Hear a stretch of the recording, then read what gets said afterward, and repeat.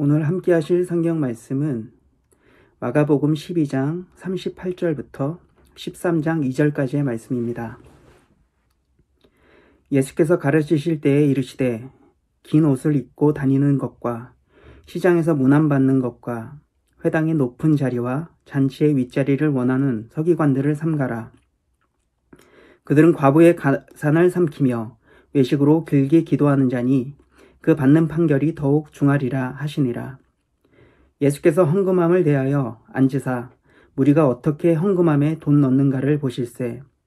여러 부자는 많이 넣는데 한 가난한 과부는 와서 두 랩돈 곧 한 고드란트를 넣는지라. 예수께서 제자들을 불러다가 이르시되 내가 진실로 너희에게 이르노니 이 가난한 과부는 헌금함에 넣는 모든 사람보다 많이 넣었도다. 그들은 다 그 풍족한 중에서 넣었거니와 이 과부는 그 가난한 중에서 자기의 모든 소유 곧 생활비 전부를 넣었느니라 하시니라. 예수께서 성전에서 나가실 때에 제자 중 하나가 이르되 선생님이여 보소서. 이 돌들이 어떠하며 이 건물들이 어떠하니까?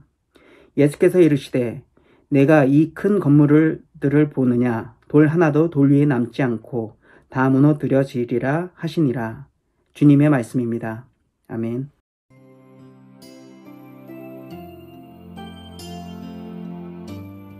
여러분 잘 지내고 계십니까?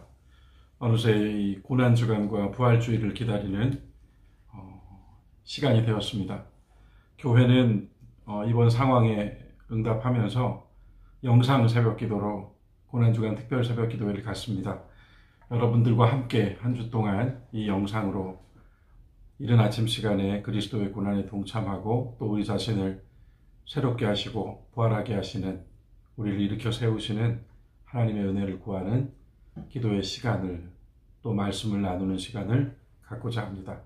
저는 이번 주간 고난주간 특별 영상 새벽 기도의 말씀으로 마가 복음을 따라 걷는 십자가 여정이라는 제목을 정해봤습니다. 마가 복음은 복음서 중에 제일 먼저 쓰여진 복음서이고 다른 한편으로 베드로의 구술을 적은 것이기 때문에 베드로의 복음서라고도 불리기도 합니다.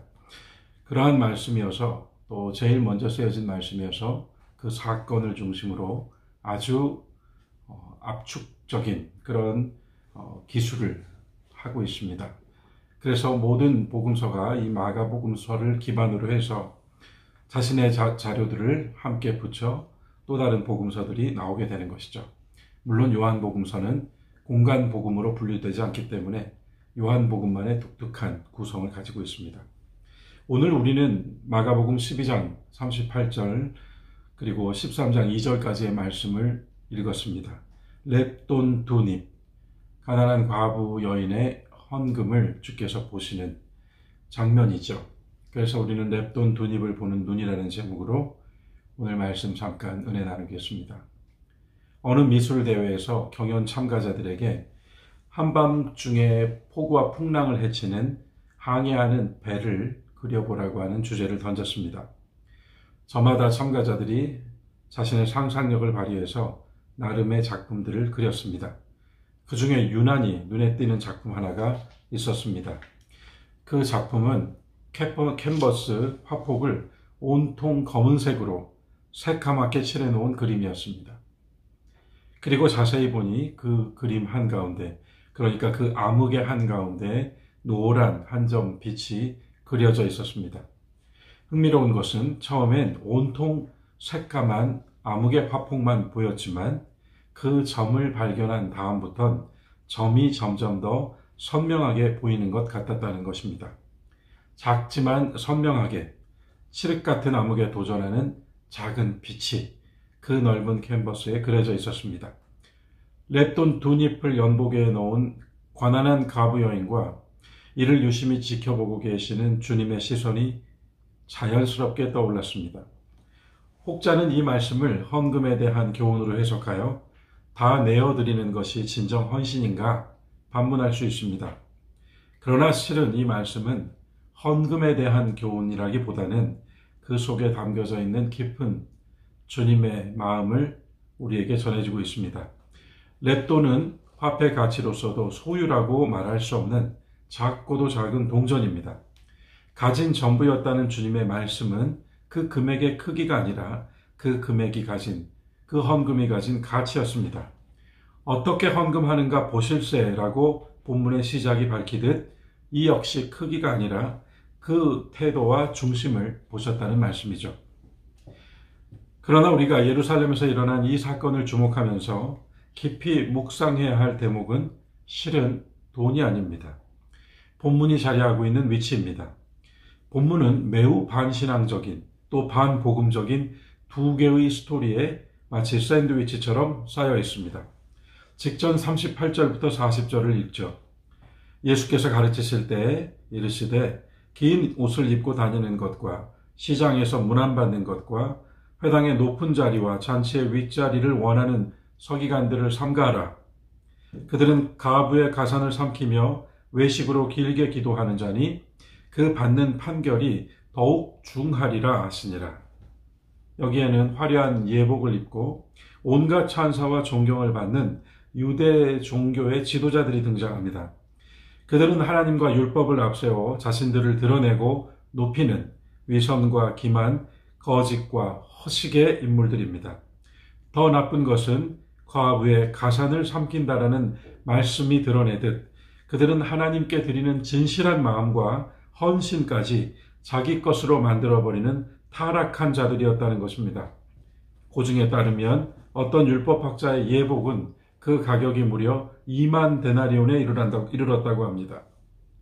평생 일한 품값으로도 결코 살 수 없는 옷을 허세를 부리며 입고 있는 그 종교가 먼저 언급되었습니다. 이번에는 이 가난한 과부 여인 이야기 다음 말씀입니다. 13장 1절부터 2절이죠. 예수께서 성전에서 나가실 때 제자 중 하나가 이르되 선생님이여 보소서 이 돌들이 어떠하며 이 건물들이 어떠하니까 예수께서 이르시되 내가 이 건물들을 보느냐 돌 하나도 돌 위에 남지 않고 다 무너뜨려지리라 하시니라. 이제껏 주님과 함께 복음의 길을 걸어온 제자들조차 헤롯이 지은 예루살렘 성전의 위용에 감탄하고 있습니다. 자그만치 50년에 걸친 대공사로 솔로몬이 봉헌했던 성전에 갑절로 지어진 헤롯의 성전이었습니다. 온통 금빛으로 반짝이는 하나님의 집, 성전 현관에는 황금 포도나무와 황금 거울이 있었고, 금이 얼마나 많았던지 성전이 로마 제국에 의해 파괴되고 약탈당할 때 예루살렘 성전의 금이 반출되어 시리아 관구의 금값이 절반으로 폭락했다는 기록도 남아있을 정도입니다. 로마는 예루살렘 성전에서 약탈한 전리품으로 저 유명한 어, 로마의 콜로세움을 세웠다고 합니다. 여러분 이 본문 말씀에서 무엇이 보이십니까? 하나는 그 앞에 있는 종교의 허세요. 또 하나는 그 종교가 또아리를 틀고 있는 성전 건물의 허세입니다. 장차 돌 위에 돌 하나도 남지 않고 무너뜨려질 인간 건축, 인간 문명의 허세입니다. 주님이 그토록 질타하신 유대 종교의 거짓과 위선을 상징하는 인물과 건물이 이 과부 여인을 둘러싸고 있습니다. 예수께서 헌금함을 대하여 앉으사 주님께서 그리 행하신 데엔 분명 의도하신 바가 있습니다. 무리가 어떻게 헌금함에 돈 넣는가를 보실세. 앞에서 말씀드린 것처럼 이것은 겉의 문제, 바깥의 문제가 아니라 그 속, 그 중심의 문제였다는 것입니다. 하나님을 향한 중심과 그 태도로부터 나오는 것이지 만들어 놓은 허상의 신앙이 있지 않다는 것입니다. 여러 부자는 많이 넣었는데 한 가난한 과부는 와서 두 랩돈 곧 한 고드란트를 넣는지라. 주님 저 성전을 보십시오라고 말하는 제자들의 시선, 또 무리들의 시선과 얼마나 다른 시선입니까? 사람들의 눈길이 온통 그 화려한 외향과 위용에 사로잡혀 있을 때, 심지어 제자들도 넋을 빼앗기고 있을 때, 동전 두 잎을 헌금함에 넣는 이 여인을 지켜보는 주님의 시선이 있었다는 것입니다. 그것만으로도 이 본문이 우리에게 주시는 위로와 은혜가 얼마나 큰지 모르겠습니다. 예수께서 제자들을 불러다가 이르시되 내가 진실로 너희에게 이르노니 아멘 내가 너희들에게 이르노니 본문은 원래 이렇게 쓰여 있습니다. 이 가난한 과부는 헌금함에 넣는 모든 사람보다 많이 넣었도다. 그들은 다 그 풍족한 중에서 넣었거니와 이 과부는 그 가난한 중에서 자기의 모든 소유 곧 생활비 전부를 넣었느니라 하시니라. 예수는 어떤 공동체를 원하셨나의 저자 신학자 게르하르트 로핑크 박사는 이 말씀을 주해하면서 주님의 이 말씀은 헌신을 가르치는 교훈이자 동시에 자기 전부를 하나님께 드린 이 여인에 대한 예수님과 예수 공동체의 관심과 돌봄을 환기시키는 말씀이었다고 합니다. 그러니까 말인즉 주님의 말씀처럼 생활비라 표현된 이 말씀처럼 그 전부를 하나님께 드린 여인을 돌보시는 하나님의 손길이 바로 이 신앙 공동체를 통하여 그를 축복하시는 하나님의 사랑이 이 예수 공동체에 함께 있는 사람들을 통하여 매개되어 옮겨진다는 것이죠. 저는 풍족한 중에서와 가난한 중에서라는 대비를 또한 눈여겨보았습니다. 제 아무리 부하고 강하다 할지라도 그것이 어찌 하나님의 부하심과 강하심에 비할 수 있겠습니까? 그러나 가난한 중에서라고 하는 것은 다르죠. 성경이 사용하는 가난은 그 말 속에는 물질적 소유의 가난도 있습니다만 하나님을 의지하지 않고서는 그분의 도우심을 받지 않고서는 살 수 없음을 아는 것, 인정하는 것, 구하는 가난, 구하는 것을 가난으로 의미하기도 합니다. 가난한 중에서는 그를 위해 먼저 가난해지신 예수 그리스도, 하나님의 사랑을 담을 그릇이 되는 것이죠. 여인의 신심과 헌신은 이 짙은 암흑 속에서 길이 빛나리라. 너희는 외모를 보거니와 나 여호와는 중심을 보느니라. 얼마나 외양과 위세에 집착해 왔습니까?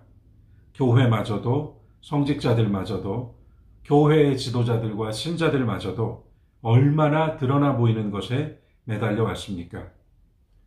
이 짧지 않은 코로나19라고 하는 캔버스가 훗날 어떤 그림으로 남아서 후세의 교훈이 되고 교회의 교훈이 되고 하나님의 섭리의 증거가 될까요?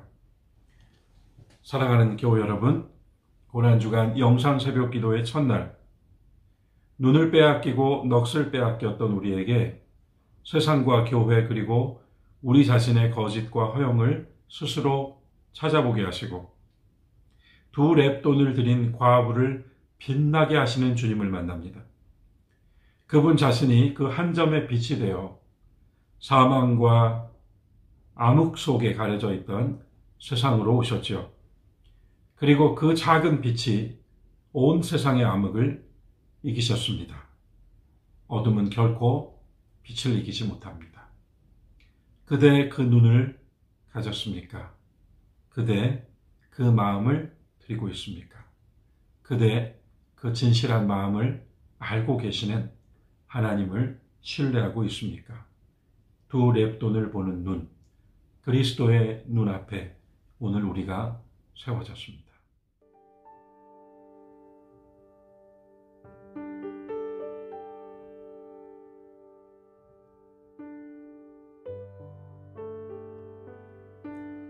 모든 존재의 근원이신 당신 앞에 죄인된 몸으로 우리가 섰습니다.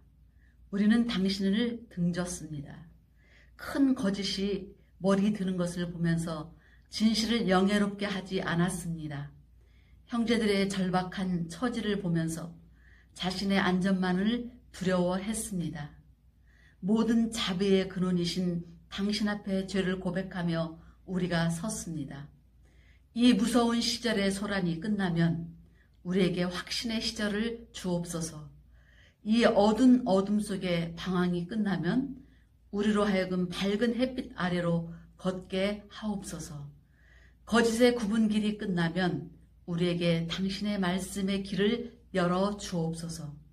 그리고 당신께서 우리의 범죄를 씻어 주실 때까지 우리로 하여금 주여 견디게 하옵소서. 예수님의 이름으로 기도합니다. 아멘.